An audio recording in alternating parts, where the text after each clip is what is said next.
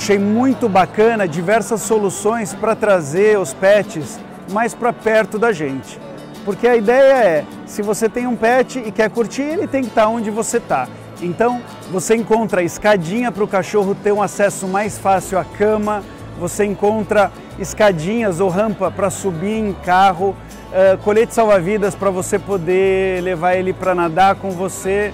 Olha que legal aqui, para quem usa cadeira de rodas, pode usar esse equipamento para ficar mais fácil de levar o cachorro com a pessoa. No caso, esse cachorro tem até um treinamento especial para ajudar a pessoa que usa cadeira de rodas.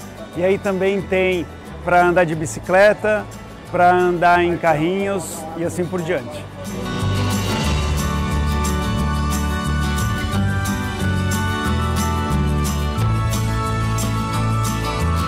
E quando não tem jeito e você tem que ficar longe do cachorro, também pensaram nisso. Tem um celular que a Motorola desenvolveu, que o cachorro vai com ele, então uh, você consegue ligar a câmera, você consegue ouvir se ele está latindo, tem alarme se ele late, percebe, tem equipamentos de GPS para você ver onde ele está e tem equipamentos que você consegue falar com ele através da internet.